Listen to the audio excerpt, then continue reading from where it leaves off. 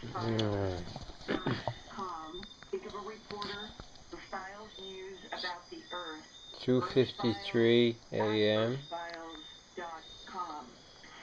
27th, Friday. feedback, George, that I have been getting just since posting the headline this week that I was going to do this story on Coast. I got a Jesus fascinating email about a video called The Revelation of the Pyramids, allegedly a 2011 video, in which here is the subject matter that there is a global median line that encompasses a great deal of mysterious megaliths on Earth from Giza to Nazca to Ur to Easter Island. And that Geek said that I can't match the Nome, Alaska to Mount McKinley. And remember, this is in the middle, the white area that was whited out on the USGS map that Doug Muchler found when he first got to Fort Richardson and wanted to do prospecting is in the area that when he was at the Fort Meade location and the TV said that what we're talking about is that this whited out area was exactly where that whited out area was or where the pyramid was shown on the uh, Channel 13 news. And he's saying in this email that this documentary about median lines connecting these ancient sites on the earth, that he can't say that there's anything in this video specifically about Alaska, but he said, quote, this is uh, from this uh, video. Just as every point along the equator is 6,215 miles from both the north and the south poles, every point along the line of ancient sites is 6,215 miles from two axis points on the Earth. The axis point in the northern hemisphere is near the southeastern coast of Alaska, and then gives uh, some coordinates. And this comes out to be in the Russell Fjord on the map, which is again not between Nome and Mount McKinley, but it's fascinating to me that anybody has done any kind of a grid pattern and done a video about it, and that Alaska would come up in any grid point. So, right now, as we are going over this fascinating story Where's the other one? on Coast to Coast and at Earth Files, and tomorrow I'm going to unfold part two with some of these images and put out uh, a lot of information so that you all can contact me in whatever comfortable way you want. I think, George, that you can tell from listening to Doug Muchler that he is an honest guy who is haunted as people become haunted by mysteries that they can't solve. And he's reaching out to me, a reporter, saying, is there any way that you can find this video? That's what we first talked about.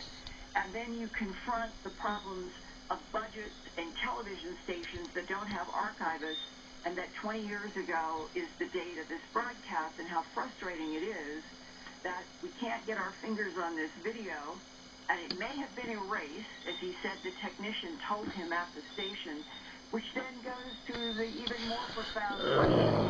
Why?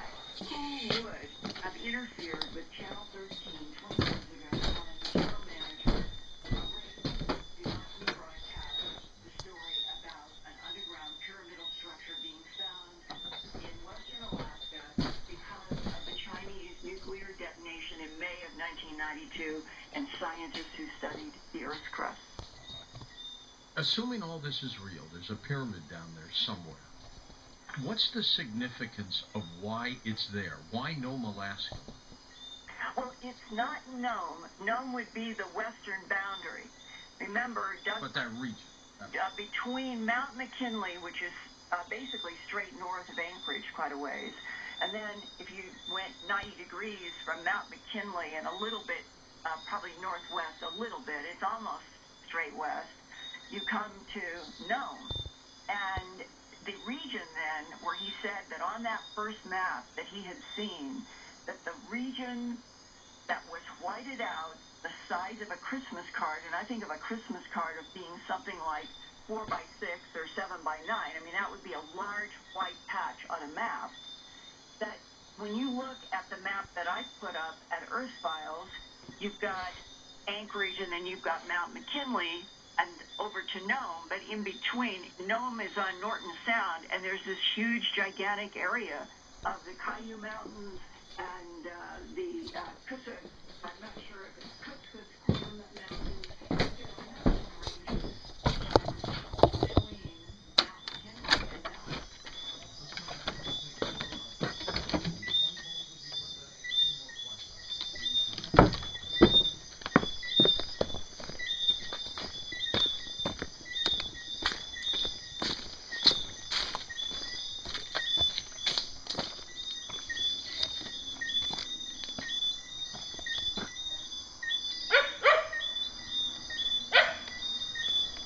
Saki, aqui.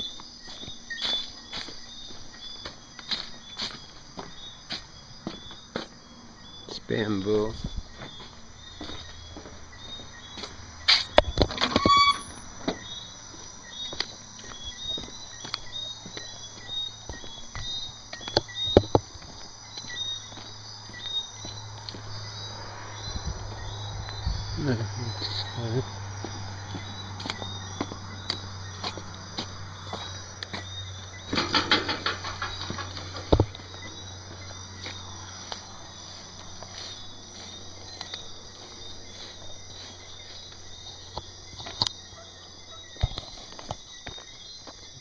Quiet. Someone's up, huh?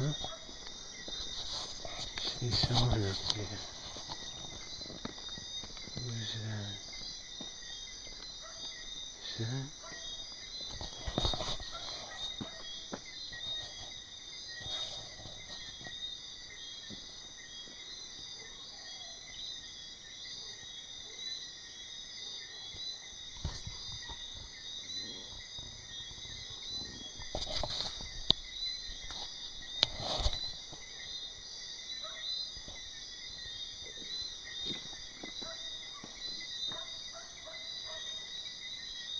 See him, right?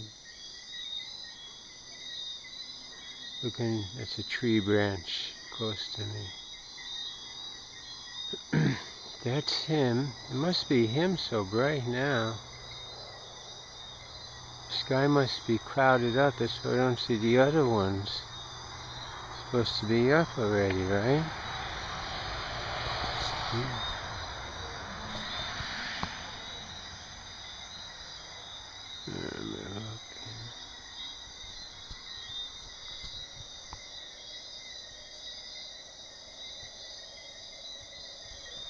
Hmm.